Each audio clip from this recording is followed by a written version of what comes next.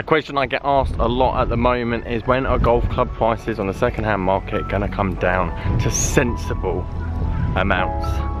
Well, with a bit of inside information today, I think I can hazard a guess.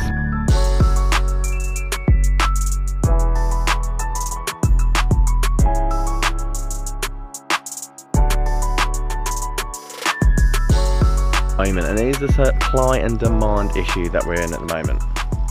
The information that I've got recently is that now, for some of you guys that don't live in the UK, I think you can tell by my skin complexion, it's got a bit warmer here in the UK, which I'm not complaining about. Guys, how you doing? Welcome back to a brand new video. Simon, on my way to go and pick up some golf clubs, 100 pound speed blade irons, about 40 minutes. I've just put the kids to bed.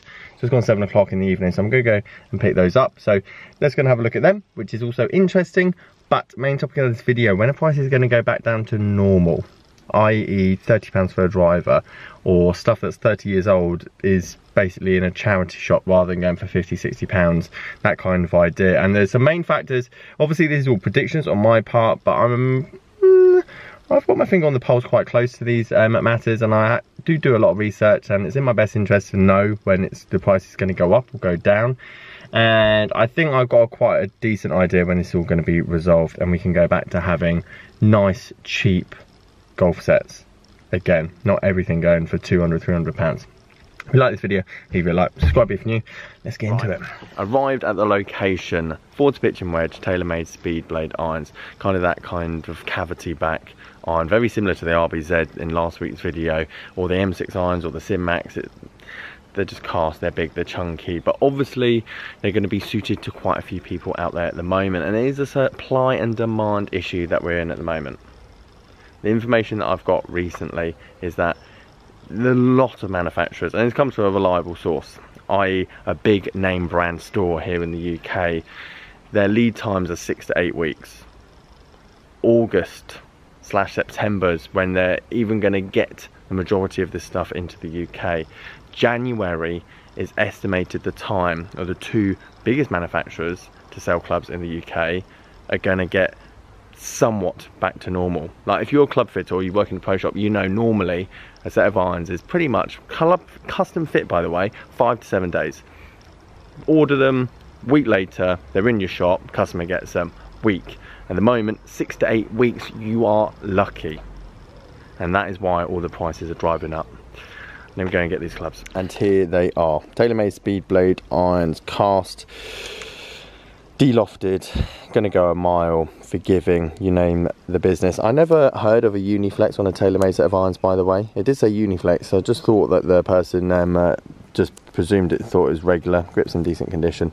But yeah, Uniflex, which is quite interesting. So basically Uniflex is halfway between regular and seniors or ladies you could say so it's going to be softer and regular basically but as i say it's going to suit a lot of people out there at the moment that are just starting this game but manufacturing lead times are basically one element of this tornado that has caused basically what should be worth 100 pounds by the way. I think about two years ago when I started doing these videos, 140, 150 pounds maximum like all day long. You could find four sets of these on eBay for that price.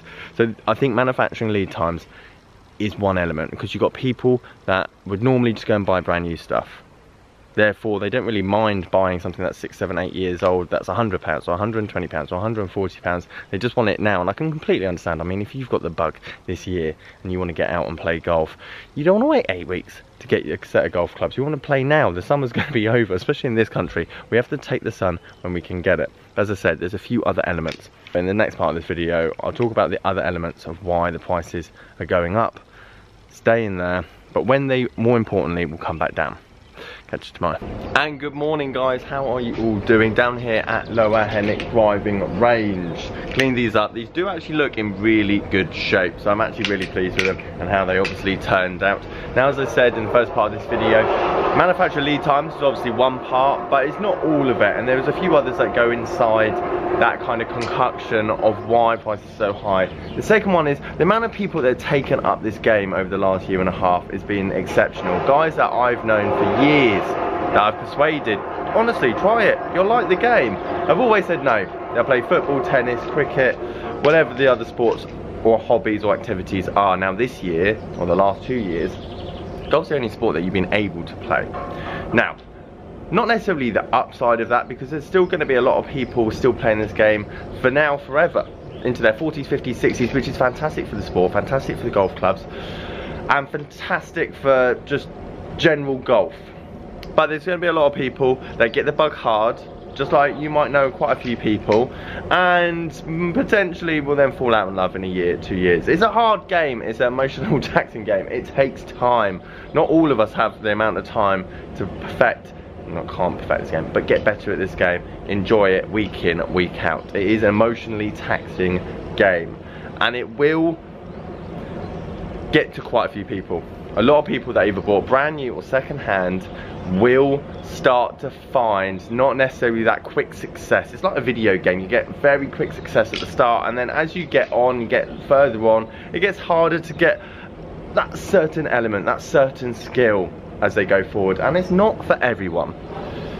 Now with the combination of the other factors i.e. manufacturers will catch up come winter time, January, February, March next year. People potentially getting a bit tired of the game after playing it a year, year and a half, two years, not necessarily making the same gains and strides. I feel like around that time we're going to start to see a lot more people potentially giving up the game packing it up. So they'll be selling their clubs. Not only that, we're not going to have that massive influx of people coming into the game in that springtime next year because fingers crossed everything's lifted. People can go away. People can go back to playing the sports that they used to be used to be playing. Therefore you're going to have a high amount of supply and not necessarily the demand. And to cap off those two combinations, we've got the third one, and that is weather. Winter time always sees a drop in prices because people that sell their clubs, change, upgrades move them on, whatever it might be, and also Christmas brand new stuff gets bought, second-hand stuff doesn't necessarily see as much love. So with a combination of manufacturers going to start catching up come winter time. People, I think after that two-year period, if they started two years ago because of golf being the only sport they could play, that's another factor. And then with the weather. So if you're looking to wait and hold out so that you can then buy a second-hand set for what it was two, three years ago, my prediction, based on the evidence, would be around this Christmas time. Now there's two sides to this. Number one, a lot of you guys potentially are waiting. I do get asked this a lot. When will clubs get cheaper? There is my prediction. January next year, I think you'll see quite a lot of stock. Second-hand club prices going back down. For the meantime, I'm going to say that it's going to be at all-time high. Restrictions are still very much here in the UK, obviously being extended. We don't know what the future is going to hold. Therefore, whilst COVID is a thing, and things are limited, activities are li limited. The sports, the hobbies, the activities that are accessible and able to do are always going to be at a premium. So here's my two pieces of advice. Number one, wait to January to fully upgrade your bag, saves a bit of money now, do your research. If you see any good deals, like lightning good deals, then obviously spring on them. But otherwise, wait. Practice, hone your skill and your game. Number two, compared to brand new stuff, secondhand is definitely better value. 100%. I could spend seven, eight hundred pounds at the moment on secondhand stuff and get as good value, as good technology, impact, you name it, than spending two grand on brand new stuff and waiting, waiting six to eight weeks. So yes, I do talk about the market being overvalued, but I still think it's underrated compared to going and getting new equipment for a lot of you guys that just started this game. I'm talking to you guys that started in the last year, the last two years. I'll show you week in, week out, the particular deals. And I'm not looking for anything in particular. A lot of people got messaging me going, Simon, I'd love a set of M6s. And I'm like, so would I. But I take what I can get. I'm not picky. I want to go and find stuff. And I show realistically, these are the same as TaylorMade M6s. There's nothing different. Same head design, same metal that's gone into it, same shaft, I mean, let's be honest, the Dynamic Gold S300, R300 have been around for near on 15 to 20 years. It hasn't changed. The grips are the same. The badge, the plastic on the back of them have. So that's my two piece of advice. Go and buy your second-hand equipment if you can afford it at the moment and don't change it for two years. Therefore you got the value. What I don't want you to do is buy high now and then sell in January because you see everything go off cheap. And then same as stock, you want to buy low, sell high.